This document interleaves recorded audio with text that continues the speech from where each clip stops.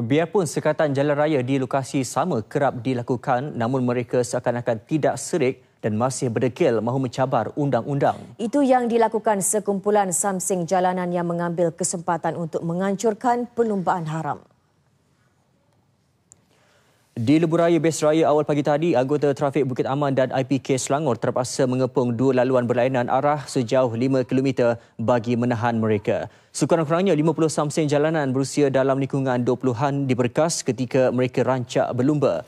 Ketika ditahan, ada yang cuba bergelut membebaskan diri. Operasi yang bermula pukul 2 pagi tadi digerakkan dengan kekuatan 140 anggota hasil maklumat orang ramai. Dalam operasi tersebut, sebanyak 40 saman dikeluarkan atas pelbagai kesalahan. Antaranya tiada lesen memandu, cukai jalan tamak tempoh, tiada cermin sisi dan sebagainya.